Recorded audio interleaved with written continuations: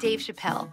He's one of the biggest names in comedy. But forget the big cities, Dave actually calls this small town home. This is Biography. Welcome to Yellow Springs, Ohio, a small town with rolling farms, picturesque waterfalls, and a colorful main street. Dave says it's kind of like The Simpsons, and he calls himself the local Krusty the Clown.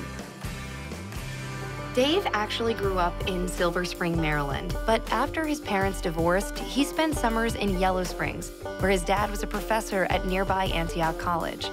Yellow Springs soon felt like home. For the most part, Dave keeps a low profile here, though once a year he does throw a mystery concert in a barn. They call it Dave Chappelle's Juke Joint. And you might even hear Dave speak out at a town meeting or just catch him grabbing a coffee. That's just life in his small hometown.